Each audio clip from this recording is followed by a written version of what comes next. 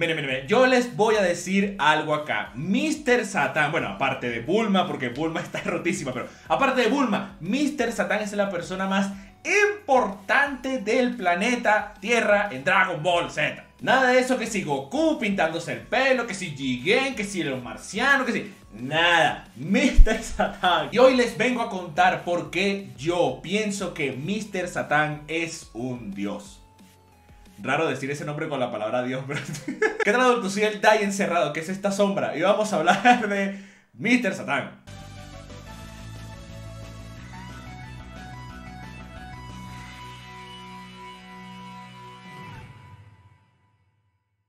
Mr. Satan, me tienes sorprendido. En realidad tú eres el salvador del universo. Ey, ey, ey, esas palabras las dice en serio, no son un meme ni sacadas fuera de contexto. Mr. Satan es el salvador del universo. Y en este video, sobre todo en su cierre, les voy a explicar el por qué pienso que es en serio. Pero de todas formas, miren, hoy está de moda eso de que el Saiyajin rojo, el azul, el ojos kawaii, el cumbiero, nada. Todo eso que sí, ok, está bien, lo acepto, pero lo que no acepto es que lo pongan por encima del del dios de Dragon Ball Z. Mire, si me ponen a decidir entre Mr. Satan y esas transformaciones arcoíris del Goku este que parece Seiya, el señor Piccolo va a responder por mí. ¿Qué demonios estás haciendo, greñudo cobarde?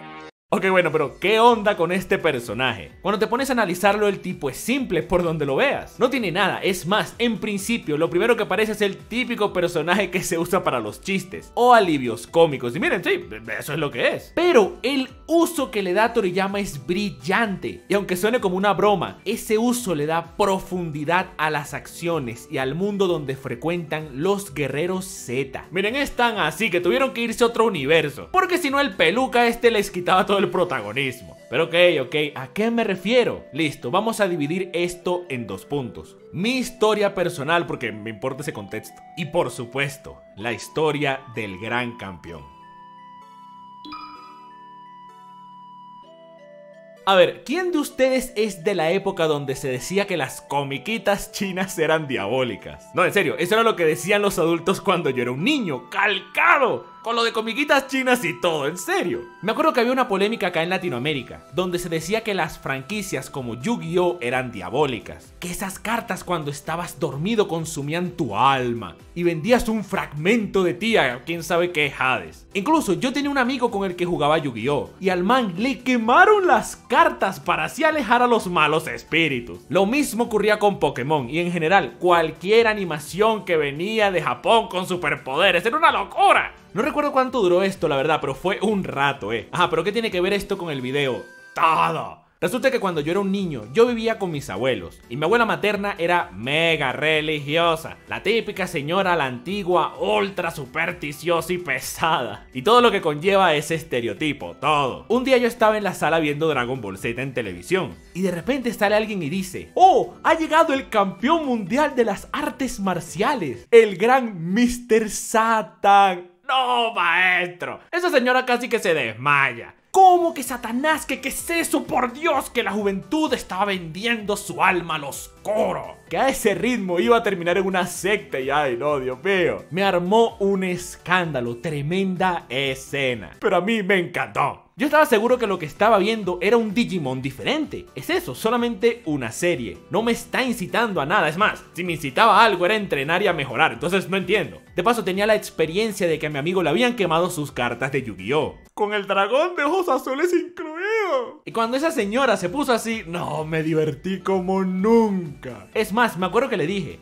¿Y sabías que la ciudad en donde viven se llama Ciudad Satán? No, casi boté espuma por la boca. Y desde ahí comenzó mi conexión con Mr. Satán todos los que yo recuerdo de mi colegio odiaban a este tipo. Que si era un pesado, que si era un tonto, que si era un inútil, que se la daba del más fuerte, pero hasta Krillin se lo rajaba. Y miren, es cierto. Al inicio Mr. Satan no aporta absolutamente nada. El tipo intenta hacer un alivio cómico que a mí personalmente no me llegaba. No entendía su función. Obviamente no lo analizaba como ahora, pero incluso de niño era como, pero, pero ¿qué hace este man aquí? Sin embargo, desde los sucesos de mi abuela, nada, el tipo pasó a ser un crack alguien de mi admiración y respeto por haber creado un meme antes de que existieran los memes. Ahora, a pesar de que me gustaba, no tenía ningún motivo para convencer a mis amigos de que el tipo era chévere. Es decir, en esa época la saga de Majin Buu aún no se había terminado, o al menos en mi país no la habían acabado, eso creo, no me acuerdo. Por ende, solo tenía el contexto de que el Mr. Satan andaba siendo un pesado y llevándose el crédito de todo, sin motivo alguno. Sin embargo, lo que no sabíamos es que Toriyama lo tenía planeado. Resulta que toda esta ridiculez era la construcción de no solo el clímax del personaje, sino también del cierre de la franquicia de Dragon Ball Z.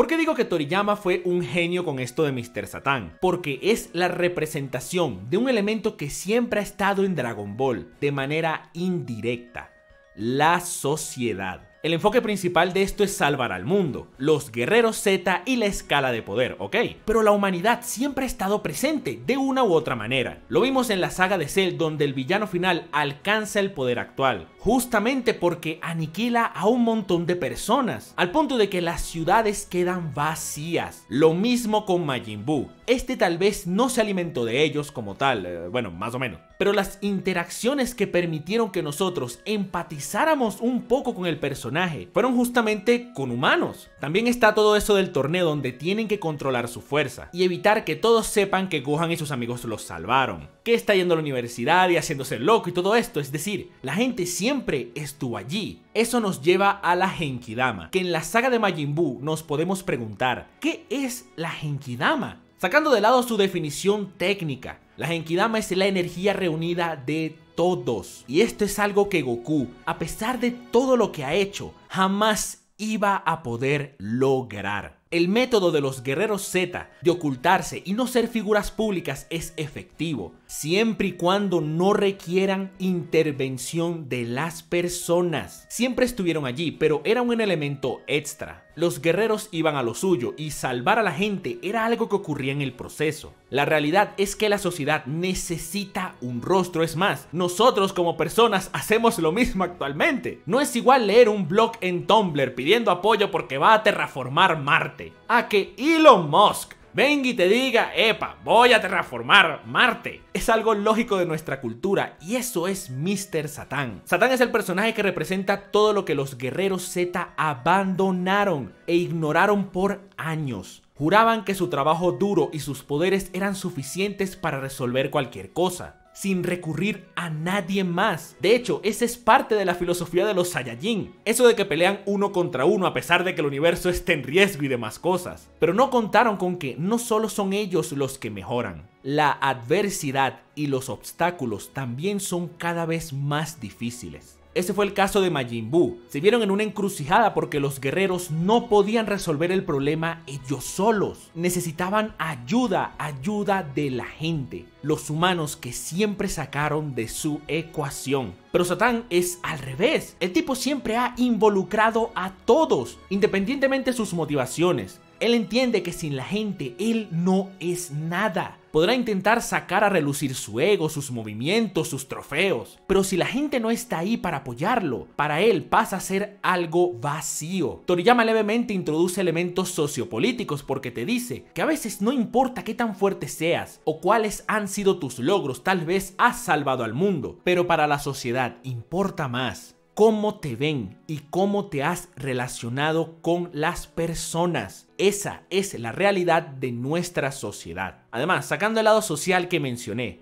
hay una realidad. Sin importar quiénes seamos o de dónde seamos, juntos somos más fuertes. Mr. Satan tiene lo que los guerreros Z jamás lograron tener, el cariño de la gente. Por eso, la cara de Goku cuando Mr. Satan les empieza a gritar es oro puro.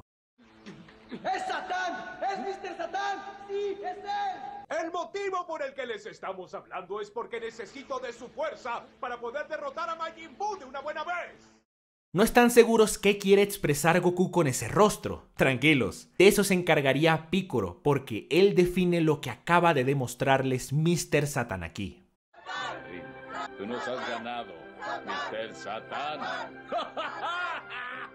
Suma todo eso que mencioné acá y te das cuenta que esas palabras de Goku son de verdad, son genuinas, vienen de su alma y de su corazón.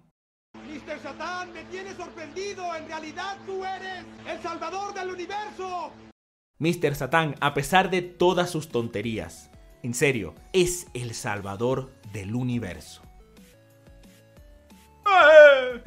No te vayas todavía. Si te gustó este video, porfa suscríbete. Y si quieres, regálame un like. Mira, eso me ayuda, muchísimo. También puedes seguirme en Twitter, en arroba dice donde siempre ando diciendo tonterías. En Instagram como me dicen Dai, donde subiré cosas que no tienen que ver con el canal. Y en Facebook en diagonal me dicen Dai, donde se deciden todas las votaciones. Y ya está, terminé mi discurso. Muchísimas gracias por su apoyo, mil gracias en serio. Nos vemos, hasta la próxima.